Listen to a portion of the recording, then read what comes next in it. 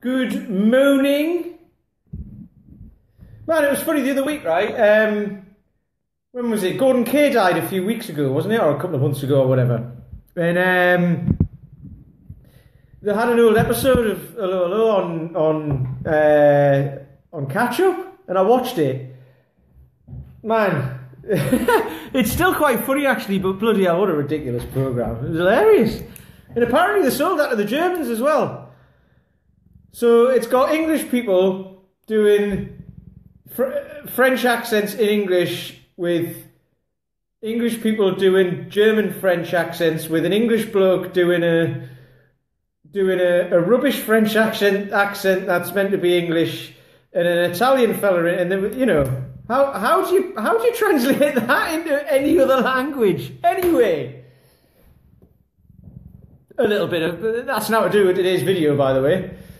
Um, if you're on, if you're if you're watching, um, like, share, whatever, uh, give us a comment so I can see who's on, because otherwise it doesn't tell me who's on.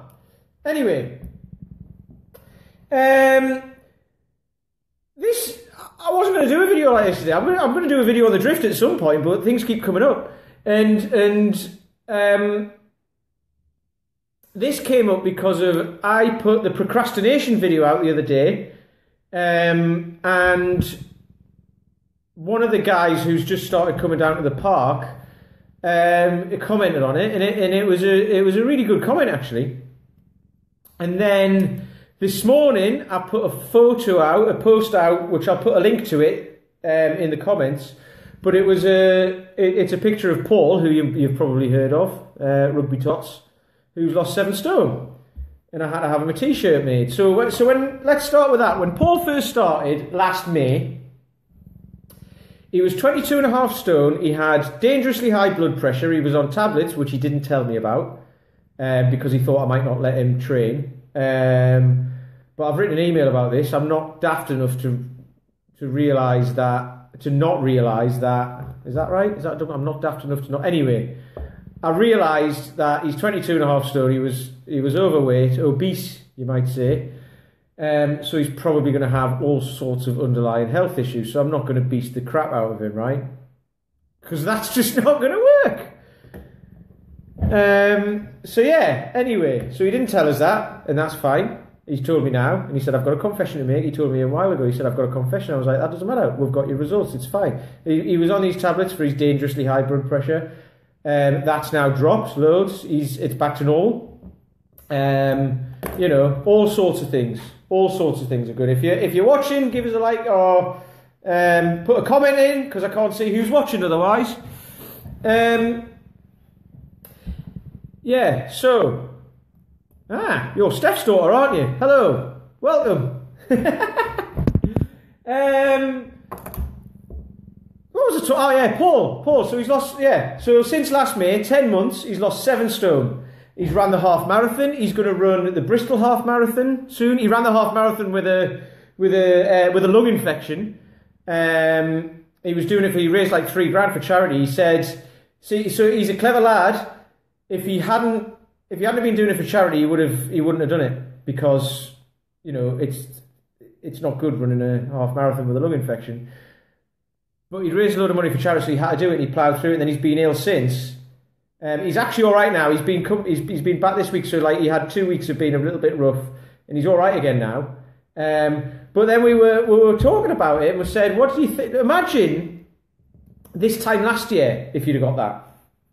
when he was when he had dangerously high blood pressure, probably high cholesterol and all that, and the whole works, right? Imagine what would have happened if you'd have got that this time last year. Um, how it would have floored you. You know, he might have to spend like a month off work or whatever. So it's it's he's got over it very quickly. Anyway, um, yeah, when he first started, he was struggling to swing a 12 kilo bell so he's 22 and a half stone. Imagine percentage body weight wise how much 12 kilos is. Not a lot. And he couldn't swing it. Um, because he had a sore back, he had mobility issues and stuff like that. And when I got him, I had a bunch of t-shirts that I give to the guys when they join up. Um, and I had them up to extra large. And I gave one to him he brought it back. He was a bit sheepish and he was a bit embarrassed, I think, and he was like, "It's it's it's not big enough." I was like, "Bloody hell!" So, and because it's Paul, he's a lovely guy. He contacted the bloke who I got to do my t-shirts and said, "Can you do me a double XL?"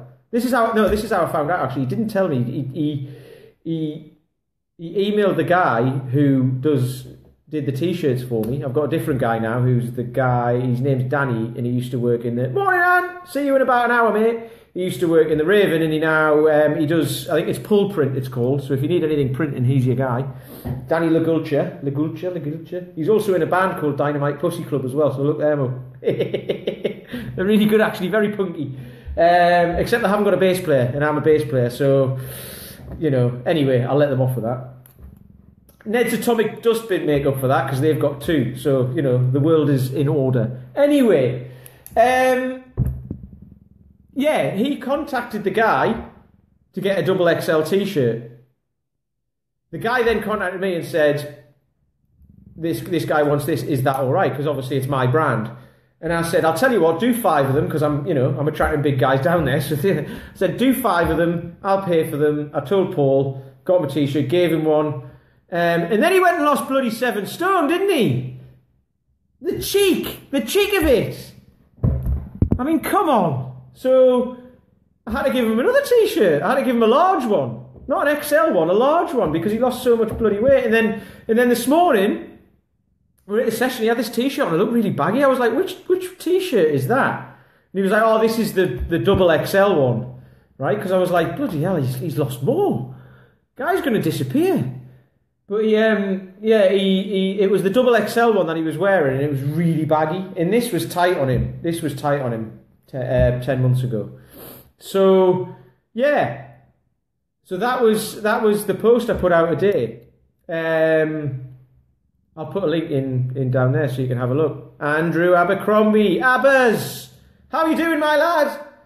Sorry about this week. Sorry you couldn't make it along. You'll be along next week. I hope you managed to get some. Did you do the stuff I put in the group for you, by the way, at home? I hope you did. Good stuff, that. Practicing your bottoms up stuff and all of that caper. Oh, hang on. People are commenting on that photo that I've put out a poll saying, wow, brilliant, amazing. Look at this. Look what you've done. Right, anyway. So, I put out another post the other uh, the, uh, the the video I was talking about, the procrastination video the other day, and there's another guy coming down to see me, a guy called Mark. Lovely guy. He's he's the loveliest guy you've ever met. Honestly, he's so nice. You just want to give him a big hug. Um, anyway, he. I put this post out. He's the guy who he was a member of a gym. Um, he wasn't getting the results. He didn't like it. It was intimidating for him. Um, and so he cancelled his gym membership, but it cost him money to get out of it because that's what that's how commercial gyms work anyway. There's lots of independent gyms around which are like you know, which are really good and um, look after the customer and get them results and all that. Um, but he was a member of a big commercial gym, which which you know locked him into a 12 month contract, and then he didn't like it. So he's now coming along to see me. He's been, he's just joined up actually. He did the two week trial, did really well. We just did a bunch of stretching because he wasn't ready to get started swinging weights around. Um, cheers for that, Russ. Yeah, he wasn't ready to, to start swinging weights around.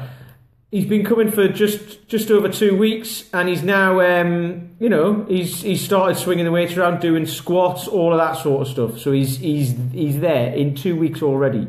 So as soon as that starts, I'm, i said, right, imagine what's going to happen in the next month. What's already happened in the two weeks is you've gone from not being able to move very well to being able to move. So now you're moving. What's going to happen in the next month? It'll snowball. It'll snowball and get better, right? This is how it works. But I put out the video about procrastination and he commented on it. I'm going to read it out verbatim. Good word, that. That means I'm going to read it out exactly as he said it in case you're a bit uh, um, like me and don't understand certain words. or forget words as well. I'm getting old now. I'm 40 years old these days, so I'm like, I'll be talking away and I'll be like, oh, what's the word? What's the word? It's a simple word, like dog or something like that. Anyway, here's what he said, right? He said, I'm going to read this. I've got it on my computer here. He said, I'm world class at procrastination. And I can find any excuse under the sun, right? This is in today's email. And then he's got, and he's, and he's, he's put his own little quotes into it. He's like, I can't go to the gym. I'm very tired. right? He, he was knackered when he turned up last night. When he left an hour later, he felt much better. Okay. Another one. I can't go. I can't go to the gym as I can't find a towel that you have to take. Right. Gyms have towels, right? What, what do you need? What do you need a towel for? What? Have a shower. Have a shower when you get home. Whatever. Right. I can't go because I don't have new tunes on my iPod to motivate me. Right. So he said this about like if he was on the treadmill and like his music would run out or whatever or he'd got to a tune that he'd already heard or whatever, he'd just be like, "Oh, you know, that's not motivating me. It's uh, it's not the right beat. I'll stop." That's an excuse, right? We know this. What what stops you going? Okay, and then here's what he said about the about coming to my sessions. Right? He said last week I felt the same way when I was knackered, and at one point I tried to think of an excuse why I may not be able to come. So he was already thinking, why can't I go? Why can't I go? If he'd been, if this had been his commercial gym, he probably wouldn't have gone. He said this himself. Okay, and then I thought more about it and realised actually I enjoy the training, and I'd regret it when 7 p.m. came around and I hadn't gone. Which is exactly what would have happened last night. He turned up, he was tired. I said, "How are you doing?" He was like, "Oh, do you know what?" I've had a week, I've, I'm knackered and all that, and I get that because I was like that the other day on that procrastination video actually, which is probably why it it, it, it got him to to comment on it because it, it it was how he was feeling at the time. But he turned up last night. You know what? I'm knackered. Um, I, I really couldn't be bothered. Um, and then by seven o'clock, he was like, I was like, "How do you feel now?" And he said, "I felt great." And Carol was there. You know, he he he was watching as well, and he was like, "This guy felt great at the end." So there you go. So you would have regretted if he didn't come along. And then the last thing he said, so I just said no and focused on how much I enjoyed coming along. So he's thinking like, right, I don't want to go. I don't want to go because I'm tired. I don't want to go because I'm, what, what do you say? I can't find a towel. I don't go, want to go because I haven't got any new tunes on the iPod.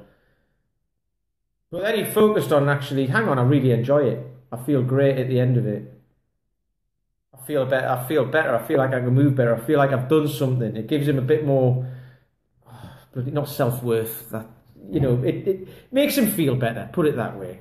And that's what happens with, with with everybody who comes down. To be to be honest, there was a guy again, another guy, Steve, who turned up this morning, just feeling stiff and tired. He turned up and everyone looked at him and was like, "Are you all right?" And he was like, "Oh, I'm tired this morning." Another guy, Matthew, was tired this morning as well. And then by the end of it, how are you feeling? He felt great. Steve felt a lot better, but they didn't do loads. I just said, right, take it easy. We'll just do some mobility work, do something nice and easy. And they felt better when they left. So imagine if they'd have stayed in bed and not come, you know, um, and then gone to work feeling like shit. Imagine what the rest of the day is going to feel like. So, you know, this is this is why I'm saying the the title of this is "Do you enjoy what you do?" The title It'll be up there. Is do you enjoy what you're doing? Meaning anything. Because if you're doing something that you're forcing, so if you're going to a gym that you don't like going to, if you're if you're doing loads of running for a half marathon, training for a half marathon, and you hate running, if you're um, if you've bought a bike and you're starting to do, I did this years ago. I bought a bike from Halfords for like 250 quid. I'm not really, I, I prefer walking because um, then I don't have to get my bike out, to be honest. And I prefer walking, which is why I'm doing this Pen y Fan thing because I, you know, it, it'll challenge me, but it's something that I, I actually will enjoy doing. Um, do you enjoy it? If you don't enjoy it, you're going to rely on willpower. You're going to be, yeah, I don't enjoy it. However, if I if I train and do a half marathon, I'm going to be fuck it. I'm going to lose loads of weight. I'm going to be super fit. Um, you know, brilliant. What happens after you've done the half marathon? You go right. I'm done. You're not though, are you? There was a thing. There was a thing I was at, at the weekend with my coach. Actually, it was a bit. I can't. I, I can't remember the exact um, quote. I think he nicked it as well. Like all quotes that people come out with are usually nicked from someone, right? And it was. Um, I can't remember exactly what it was. It was something like I've got it written down somewhere. It was something like growth comes from um, doing the the the necessary, often mundane things in life. This, I'm not. I'm not quoting this verbatim again. I'm not quoting this verbatim, but growth and success comes from doing the um, the mundane, often un, uh, the necessary, often mundane things in life um, to progress or whatever it was forever.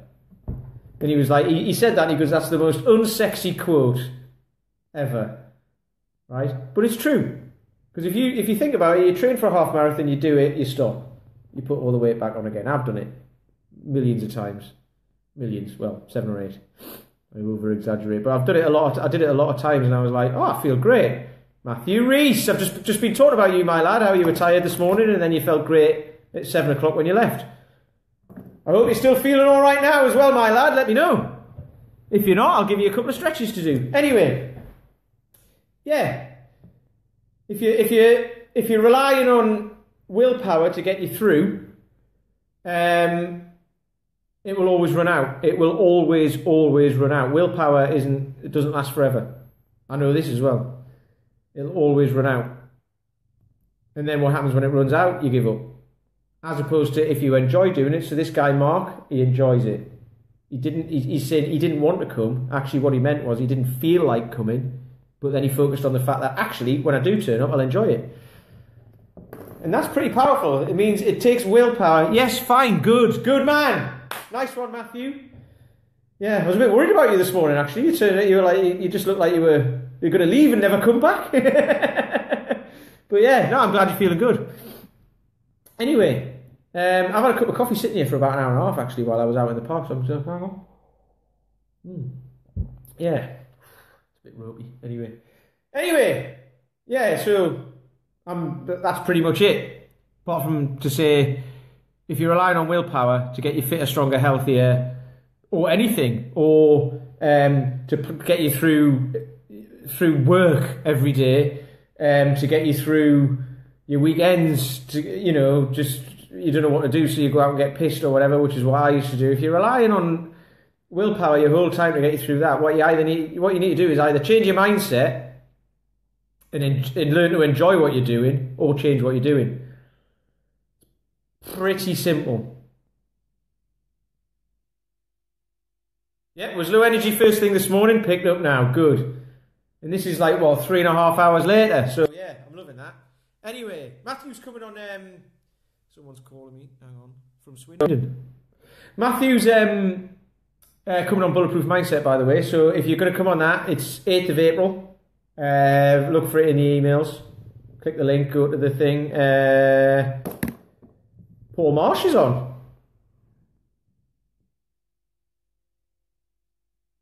I don't know who that is. Hello, Paul. I don't think I've ever met you. Um, yeah. Um, yeah, Matthew's coming to Bulletproof Mindset, which is on the 8th of April. Um, and that, that, this is all about learning to find what you enjoy, what to do. So it's changing your mindset so you don't rely on willpower the whole time to get through stuff, which inevitably means you give up because willpower runs out, always. Um, people who say they're full of willpower, full of motivation, all that sort of stuff, it's like motivation is, doesn't come from just from motivation, it comes from a thing.